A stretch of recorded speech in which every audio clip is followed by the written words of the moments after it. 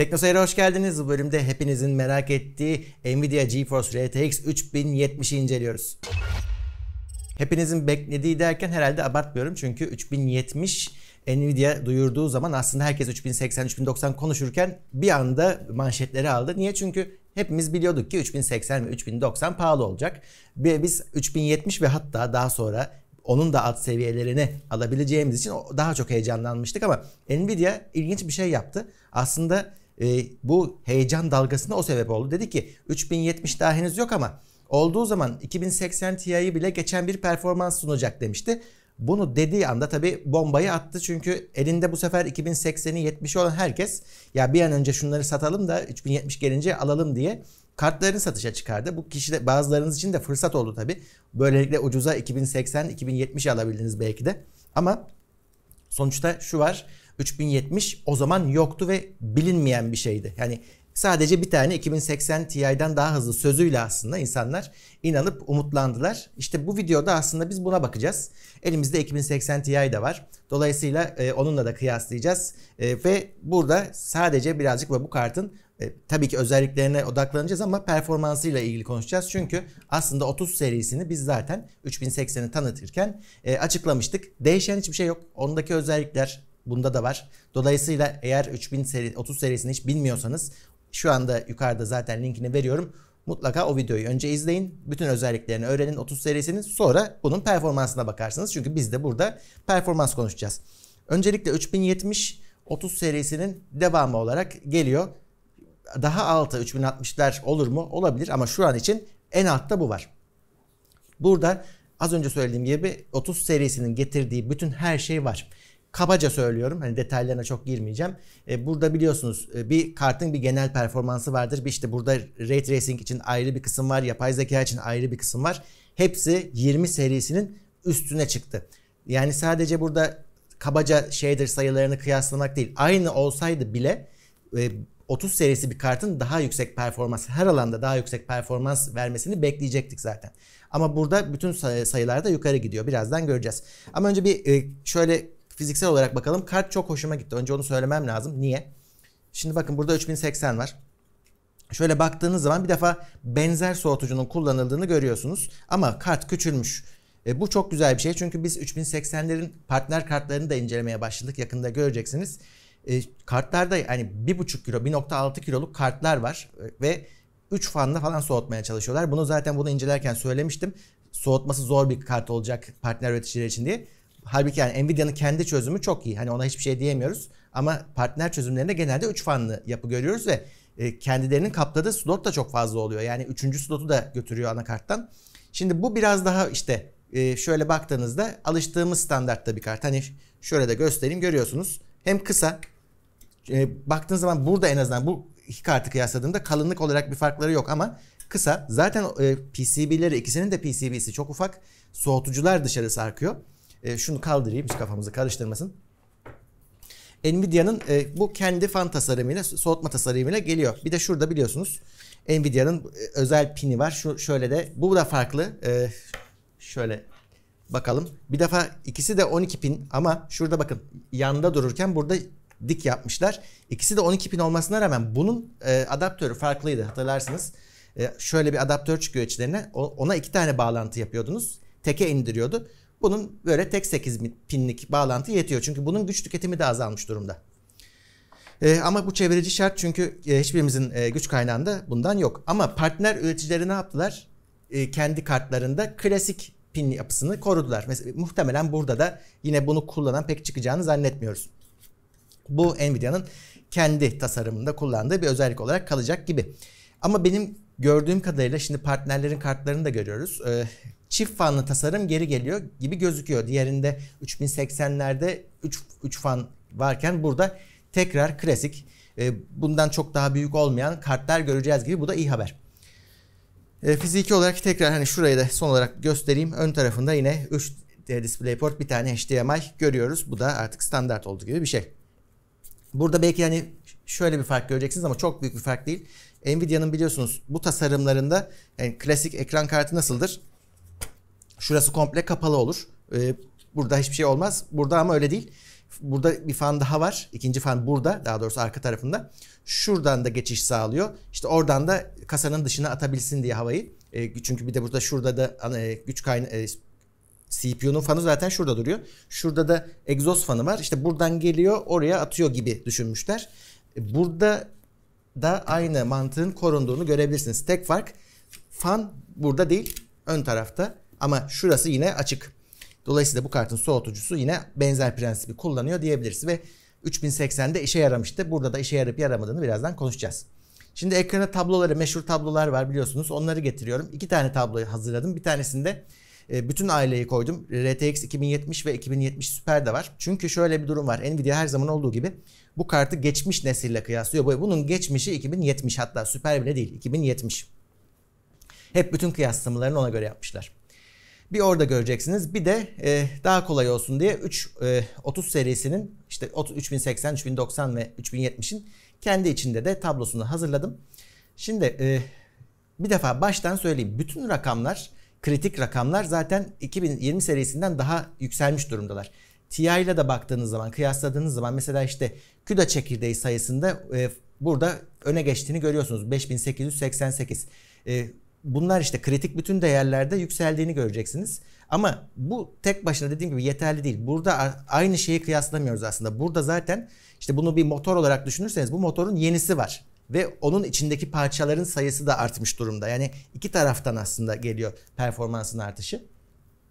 O yüzden rakamlar hani e, bir noktada çok bir şey böyle e, ifade etmiyor. Versiyonlar komple farklı. E, burada hani birazcık dikkatinizi çekecek şeyler şu olabilir. Bir defa tabii ki bu kartın bir şekilde 3080'den daha zayıf olması gerekiyor. Nvidia bunu nasıl yapmış? Aslında buradaki soru bu. Birincisi yani dikkatinizi çekmiştir diye tahmin ediyorum. 8 GB GDDR6 X olmayanından var. Diğerinde X vardı. Bunda X yok. Orada daha klasik. Hatta şöyle söyleyeyim. 2070'in bellek altyapısıyla zaten tabloda görüyorsunuz benzer 256 bite düşüyor. Ee, yine 14.000 e, MHz hızı var. 448 e, GB saniyede bunun band geliştiği ki yine e, eski nesille aynı kalmış. Burada demek oluyor ki bir hani eskisinle band genişliğinden aynı olacak bellek performansı ama GPU tarafından alacak performans artışını. E, bu nerede hani karşımıza 3080'den ayıracak bu bellek band genişliği nerede zarar olur? Yüksek çözünürlükte. Yani burada 4K'da ikisinin arası özellikle 4K'da 3080 ile arasındaki farkın açılacağını buradan söyleyebiliriz. Çünkü 3080'de e, bellek altyapısı e, band genişliği daha yüksek. E, orada tabii bana şeyi sormuştunuz. E, işte ekran kartlarının bu yenilerinin 10 GB olması 3080'de bir sıkıntı yaratır mı demiştiniz. Ben tahmin etmiyorum bir hemen bir sıkıntı yaratacağını ama burada 8 GB. Burada işte şey tam hani e, günümüzün standartını karşılıyor kart. Ekstra bir şey sunmuyor. Onun da dedikoduları vardı biliyorsunuz. Daha yüksek versiyonlu bir e, işte 16 GB versiyonları vesaire olacak bu kartların diye ama şu anda onlarla ilgili bir bilgi yok. E, çünkü biliyorsunuz mevcut kartların bile şu anda hani talepten ötürü Nvidia'nın açıklaması bu şekilde e, bulunamaması söz konusu. Dolayısıyla hemen o varyantlar piyasaya giremeyebilir. Şu anda 8 GB'da duracak. 3080'inde 10 GB biliyorsunuz. Burada e, 3080'in de 760 GB saniye band genişliği olduğunu hatırlatalım. Dolayısıyla aralarında yüksek çözünürlükte fark oluşacak. Ama tabii sadece yüksek çözünürlük değil. 8704 e, CUDA çekirdeği varken 3080'in bunun 5888 olduğunu söylemiştim. E, saat hızları anlamında aralarında çok muazzam bir fark yok. Birisi 1710, e, bizim işte bu 3070 1725 gözüküyor ama bunun da bir önemi yok. Bu Nvidia'nın açıkladığı bu hızlarının çok ötesinde çalışıyor biliyorsunuz kartlar. Hatta bu da öyle. Birazdan konuşacağız. E, ikisi de Samsung'un 8 nanometre yapısını kullanıyor ama e, işlemini kullanıyor. Burada e, zar boyutu küçülmüş durumda. Yine tabloda görüyorsunuz. Transistör sayısı da küçülmüş durumda. 17.4 milyar transistörü var 28'e kıyasla. Dolayısıyla bu daha küçük bir GPU. E, bu da işte şeyi açıklıyor zaten. Nasıl diğerinden daha ufak olabildiğini açıklıyor. Biraz daha hani güç kaynağı dostu tabii onu da söylememiz lazım. İşte 220 watt civarı bunun TDP'si. Diğeri 320 idi ki orada biz gerçek kartlar yani e, partner kartlarıyla 480 watt total güç tüketimi elde etmiştik. Bütün bilgisayarımızda. Burada da o değerlerin e, birazdan ne olduğunu söyleyeceğim. Evet e, genel olarak işte tabloyu gördünüz. Bazı kısıntılar kesinlikle var ama kısıntılarına rağmen 2080 ve 2080 Ti ile kıyasladığınızda daha üst model bir kartla karşı karşıyayız. Yani Nvidia'nın bu kartlar 2000 bu kart 3070 e, Ti'den 2080 Ti'den daha hızlı iddiası rakamların bazılarında gözüküyor. Ama bakacağız e, gerçekte öyle mi? Şimdi e, hemen yine bu kartın fiziki olarak elde ettiğim verilerini paylaşayım. Öncelikle e, test sistemini de görüyorsunuz bizim AMD test sistemini. E, aynısıydı bir öncekiyle 3080 ile test ettiğimizin aynısı. Hiçbir şey değiştirmedik. Dolayısıyla e, performansı kıyaslayabileceksiniz. Şöyleydi. Güç kaynağına kadar aynı bu arada. 850 watt güç kaynağı kullandık. Burada 340 watt yük altında 340 watt bir tüketim. Bütün sistemin tüketimi e, elde ettim. Yine yüksek aslında hani e, baktığınız zaman. Bunun da işte 226 civarı e, karta e, ayrılmış gözüküyor. E, Afterburner'da baktığım zaman. Ki bu da Nvidia'nın verdiği TDP değerlerine yakın. E, o yüzden yine e, kötü bir güç kaynağını da kullanmamanız gerekiyor. Zaten hiçbir şeyi kötü bir güç kaynağına bağlamamalısınız da. E, diğerinde neydi? 750 watt sınırdı. 850 öneriyorduk.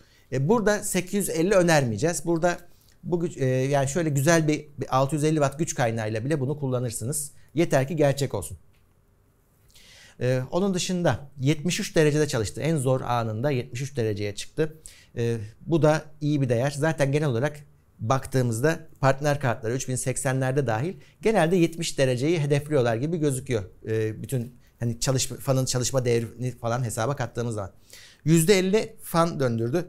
Yani e, bu da 1742 RPM olarak baktığın zaman 1742'ye denk geliyor. %50'sini kullanarak işte kendisini 73'te 73 derecede tutabildi. Şu an ısı haritasını da görüyorsunuz zaten nasıl e, durumunu. E, onun dışında da tabii ki bir de boost hızı var. Ne kadar overclock etti kendini. 1980 MHz civarında çalıştı. E, daha üstüne çıkmadı. 2000 MHz yapmamayı tercih etti. E, bunu da şey bilmiyoruz tabii. Bunlar artık biraz da geciktiler biliyorsunuz. Özellikle bu 3080'deki e, sorundan sonra e, bu hani masa üstüne atma sorunu yeni bir sürücü çıktı çözdü. Bu birazcık gecikti. Ondan mı gecikti bilmiyoruz. Bence o birazcık bir, bir daha bir kontrol edilmiştir diye tahmin ediyorum. Ama şu an için ben en azından şu, tabii ki sadece bunu test ettim. Bunda herhangi bir sorun yok. Yani saatlerce aralıksız oyun oynandı. Hiçbir sorun yaşanmadı. Evet bu kartın özellikleri böyleydi. Bunun üstüne çok durmayacağım çünkü zaten bu kartı satın almayacaksınız. Siz partner kartlarını alacaksınız. Onları da sordum dedim bu defa bulunacak mı? Bulunacak daha çok bulunacak dediler. Bakacağız. Onlar da hızlı bir şekilde teste gelecekler. Esas orada değerlendiririz. Kartların oradaki kartların nasıl görüneceği önemli. Peki performans. Şimdi performansa baktığımız zaman neye bakacağız? Bir defa şu meşhur 2080 Ti'den hızlı e, sözü doğru mu? İlk benim de baktığım şey oldu açıkçası. Zaten 20 serisindeki en hızlı kartım 2080 Ti şu anda. Siz şunu da bakın. E, 2070 Super biliyorsunuz 2080 ile aynı kart. Testte 2080 de var. Ona o gözle de bakabilirsiniz. Bir tek 2070 şu anda benim test tablolarımda yok çünkü elimde yoktu. Ee, 2080 Ti'den daha hızlı olacak ya da işte onun civarında olacak sözü testlerin toplamının ortalamasını alırsanız doğru. Yani bazen daha altında kaldı, bazen üstüne çıktı, bazen aynı e, değerleri aldık. Evet bu kart gerçekten 2080 Ti ayarında diyebiliriz. E, her zaman ondan daha hızlı diyemezsiniz ya da her zaman Ti daha önde diyemezsiniz. Ama ortalamaya vurduğunuz zaman evet elinizdeki kartın gücü 3000 e, 2080 Ti ayarında. Bu niye önemliydi? 2080 Ti 1200 dolarlık kart. Çok pahalı. Bu 500 dolarlık bir kart. Yani aslında bu yüzden hani şey diyebilirsiniz ya yeni kart çıkmış eski nesille kıyaslıyoruz ona denk diyoruz. Öyle değil aslında. Eski neslin süper pahalı bir kartının yarı fiyatına olması burada olay olmuştu. E, o yüzden bu karşılaştırma önemli. Yoksa evet pratik olarak 2080 Ti'yi geçmesinin hiçbir önemi yok. O zaten hiçbirimizin alamadığı bir karttı. 2080 ve 2070 süper. Yine iki düz 2070. Burada bence önemli olan onları geçebiliyor mu? E tabii ki onları da daha rahat geçiyor. E, 2080'in üzerine net bir şekilde daha yüksek performans koyabiliyor. E, genelde oyunların çoğunda göreceksiniz. Artı olarak hani ben yine de 4K'da da testlerimi yaptım. E, 4K'da Şöyle 3080 çok rahat 4, 4K'da. Bu o kadar rahat değil. E, zaten göreceksiniz tablolarda ve işte birkaç tane oyunun da görüntüsünü vereceğim. Şunu söyleyebiliriz. 2080'ler zaten e, ne olursa olsun 4K'da e, yüksek FPS alabildiğimiz kartlardı. 2070'ler biraz 4K'ya girişti. Hani bir şeyleri kısmak gerekiyordu. 2080 biraz daha rahat olduğumuz bir karttı. 2080 süper ve işte üstü zaten rahat etmemizi beklediğimiz kartlarda. E tabi bu da 3070 olarak e, onlarla e, aşık atıyorsa evet bunda da 4K var. Yani bunda 3080'in daha iyi olması bunu 4K sınıfından atmıyor. Bu da yine 4K'lık bir kart. Ama şunu söylememiz lazım. Özellikle DLSS devreye girdiğinde çok daha rahat ediyor. E, çünkü orada biliyorsunuz gördüğünüz gözünüzün gördüğü 4K olmasına rağmen kartın render ettiği 1080p olabiliyor. Özellikle DLSS 2.0'da. Orada size seçme hakkı veriyor. İşte kaliteli mi görüntüyü vereyim yoksa işte birazcık balans mı olsun yoksa performansa mı oynayalım diye. E, oradakilerden bir tanesini seçerek çok ciddi performans artışı elde ediyorsunuz. Bu da 4K'yı fazlasıyla rahatlatıyor. Yani 20 serisi için de rahatlatıyor. Bunun için de rahatlatıyor. Ve hiç DLSS yoksa ya da işte 1.0 varsa orada biraz daha e, diğeri tabii 3080 daha güçlü olduğu için daha rahat ediyor. Orada da burada ne yapacaksınız? 2080'lerde ne yapıyorsanız onu yapıyorsunuz. Birazcık bazı oyunlarda bir iki detayı çok da düşürmeden e, ayarlarsanız 4K'da zaten yine yüksek FPS'lerde yine 60'ı hedefleyerek oyun oynayabilirsiniz. Ama DLSS 2.0'lı oyunlar tabii ki çok daha rahat oluyor. Ee, onların sayısının artması bence RTX, Ray daha önemli. E, çünkü çoğumuzun ilk kriteri performans. E, daha sonra işte birazcık görüntü kalitesi geliyor. Ray Tracing güzel bir şey kullanıldığında. O da yayılmaya başladı ama DLSS performansı çok net yükselttiği için oyuncuların çoğu için daha bence daha önemli. Onu yayması lazım Nvidia'nın. Burada zaten iyisiniz. Hani 3070'i 3080'i olanlar kapalı da olsa iyi performans alıyor ama e, 2000 serisinde işte 2060'larda vesaire e, onlarda daha da faydalı bir şey. Mutlaka yayılması lazım. Bütün ekran kartları için söyleyebiliriz benzer teknolojilerin yayılmasını. Evet genel olarak baktığımda performans zaten 1080p'de işlemci limitli 2000 2K'da da 2560'a 1440'da da bazı oyunlarda işlemci limitli e, ki bizim işlemcimiz e, 3900X e, AMD'nin en üst seviye işlemcilerinden bir tanesi. E, onda da işlemci limitli oluyor. Dolayısıyla zaten 3080 fazla gelecek çoğu kişinin bilgisayarına. E, bu kesinlikle daha e, mantıklı olacak zaten fiyat olarak da o şekilde. E, 1080p ve 2K'da zaten bu kart şu anda en hızlı e, bence en mantıklı seçenek. 3080 alıp ziyan etmeye gerek yok. E, 4K benim işim dediğiniz zaman işte orada birazcık değişiyor. Orada 3080'i alabiliyorsanız tabii ki bundan daha yüksek performanslı bir kart alıyorsunuz. İşte birazcık da 10 GB olması biraz daha rahatlatabilir belki sizi. Ama onun dışında 3, 4K dahil alt çözünürlüklerde bu kart çoğumuzun işini zaten görecek durumda ve bu videoyu çektiğimde hala rakipsiz bu seri. Dolayısıyla e, bir anda e, soru şu hangi Nvidia'yı almayı alayım mı dönüşüyor. İşte burada 3070 bence benim şu an serideki en sevdiğim kart oldu. Hem ufak hem daha az güç tüketiyor. Sesi soluğu zaten e, çıkmıyor. Partner kartlarında da benzer şeyler olacaktır. O yüzden direkt tavsiye edebileceğim bir ürün olmuş. Bunun haricinde değinmediğim neler var? Mesela şeye yarıyor mu derseniz hani GPU render'a yarıyor mu derseniz evet onda da yarıyor ve onda da 2080 Ti'ye fark atabildi Blender'da. O önemliydi benim için. Çünkü o kartları alanlar biraz o işler için almışlardı. Bu kart 2080 Ti'ye Blender'da bariz e, fark koyabildi. E, o yüzden hani 3080 almadan da 3070'e geçerek fark elde edebiliyorsunuz. E, bakalım e, şey sorusu var. Hani diğer özellikleri de biliyorsunuz kullanıyoruz. E, broadcast mesela geldi. İşe yarıyor mu? Çok işe yarıyor. Bizim hatta Umut'un yaptığı bütün videolarda onun arka planını broadcast yok ediyor. E, ben zaten en başından çıktığı günden beri RTX Voice kullanıyorum. Artı olarak OBS'te Nvidia'nın encoder'ını kullanıyorum. Encoder tarafında bir fark görmeyeceksiniz. Aynı encoder'ı kullanıyor. Dekoderini geliştirdiler. Daha çok e, AB1'i desteklesin diye.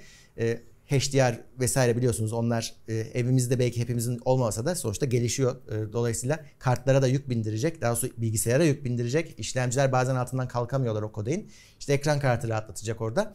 Ama encode işinde işte bir kendi videomu yapıyorum. Onu encode ederken işe yarıyor mu derseniz yarıyor. Çok da işe yarıyor ama 20 serisinden daha çok bir e, ekstra bir şey yok çünkü aynı encoder'la geliyorlar. Daha önce test etmiştik. Ee, öteki özellikler işte Broadcast'ı, RTX Voice'da onlar da ol, aynen çalışıyor. Gayet güzel. Öteki RTX'lerde de eski nesilde de çalışıyor. Orada da ben hani bir avantaj olacağını pek düşünmüyorum. Sadece şey olabilir. Hani aynı bilgisayarda yayın yaparken tabii ki ekran kartı ne kadar e, kendi kaynaklarını oyuna ayırırsa o kadar iyi. Burada da e, FPS'niz daha az düşerek o yan uygulamaları aynı anda çalıştırabilirsiniz diyebiliriz ama büyük bir e, devrim beklemeyin. Son önemli olan o yazılımların kendisiydi ve işte broadcast şu anda indirilebilir durumda. 2080 serisinden ekran kartı olanlar, 2070 olanlar buna geçsin mi? Şimdi bunun fiyatı belli değil. 500 dolar olarak söyledik. O yurt dışındaki açıklanan fiyat. Bu videoyu çektiğimde Türkiye fiyatı henüz belli değildi partner kartlarının ama yani 5-6 bin lira civarında minimum olmasını tahmin ediyoruz. Dolar da yine süper oynak bu aralar. Bir rakam vermek güç. 3080'den kesinlikle net bir şekilde ayrılacaktır. Ee, ama elimde 2000 serisi kart varsa bunu almalı mıyım sorusunun cevabı e, şuna bağlı. Hani e, normal şartlarda ben olsam bir sonrakini düşünürdüm. Hani bu ya bunun işte Super TI'yi çıkar ya işte 4000 serisi çıkar. Belki oraya kadar düşünürdüm ama o zaman o kartları alabilecek durumda olacak mıyız? Bizim kendi Türkiye'deki özel sorunumuz bu. Şu anda durumunuz varsa şu an alabiliyorum. Ben 2080'e işte 70'i mantıklı fiyata satıp üstüne şeyler koyabiliyorum diyorsanız sırf bu nedenle olabilir. O nedenle alabilirsiniz. Alabiliyorken performans artışı var. Yani 2080'in üzerine de e, koyuyor. 2070'in zaten üzerine e, çok net bir şekilde çıkacak. E, bir performans artışı göreceksiniz ama yani 2500'e sattığınız kartı üstüne işte 3000 lira daha koyup aslında buna geçmek çok süper mantıklı bir hareket olmasa da yarın öbür gün bu imkan hiç kalmayacak. Elinizdeki ekran kartının değeri de düşecek. O yüzden bence buna göre düşünün. Eğer ya bu benim son şansım diyorsanız 3070'e elinizdekini satarak geçersiniz. Daha önceki nesillerdeki kartlar 1000 serisi sahipleri ise e, onlar direkt geçebilirler. E, eğer 2000'i de atlamayı başarmışsanız işte e, burada çok ciddi bir performans artışı elde edeceksiniz. 3080'i çoğunuz için çok fazla olduğunu düşünüyorum. Dediğim gibi işlemciniz ona göre olacak. Hatta kasanız bile ona göre olacak. Güç kaynağınız ona göre olacak. Bu daha e, mantıklı bir seçim olacak çoğunuz için. Ee, onun dışında rakip olmadığından hani AMD'ye göre kıyasla dediğiniz zaman bir şey diyemiyorum. Bunun karşılığı henüz gelmedi. Gelecek. Onu da bekleyebilirsiniz. Onlar da geldiğinde hepsini kapıştıracağız. Dolayısıyla e, o da işte bu ayın sonunda gelecek. Daha orada hani e, son söz söylenmedi rakip konusunda. Ama şu an için bugün bu kartı almam lazım dediğiniz zaman tek derdiniz stok olacak gibi gözüküyor ama işte dediğim gibi 3070'i stoklu getirecekler dediler bana. Böyleydi 3070 e, en azından FOS çıkmadı. Beklentileri karşılıyor. Benim beklentilerimi en azından karşıladı. E, ve e, 3080'e kıyasla çok daha rahat tavsiye edebileceğim bir kart oldu. Çoğunuzun bilgisayarındaki işlemcide güç kaynağı da bununla zaten uyumlu bir şekilde çalışacaktır. E, 4K geçişi pek fazla gördüğüm kadarıyla e, takip ettiğim kadarıyla çevreden pek fazla yok zaten. E, bu kart uzun süre işte hep soruyorsunuz ya beni alırsam ne kadar idare eder diye. Çok uzun süre idare edecek bir kart gelmiş. Bunun tabii ki artık 3060'ını da e, bekleyeceğiz. Daha alt kırılımlarını da bekleyeceğiz. Çünkü böyle bir fark varsa bunun alt kırılımlarında da eski de ciddi bir e, fark, performans farkı beklememiz gerekir. Evet, Nvidia'nın GeForce RTX 3070'i böyleydi. Daha yeni başlıyor macera. Hani bu ilk video dünyayla aynı anda e, çıkalım diye uğraştığımız videolardan. E, daha sonra işte Asus'u MSI'yi hepsi gelecek. Hepsini test edeceğiz. E, devam edecek. E, tabii ki rakip de gelecek. Ve bu seneyi herhalde bu konuyla kapatacağız artık. Ee, izlediğiniz için teşekkürler. Bir sonraki bölümde görüşmek üzere.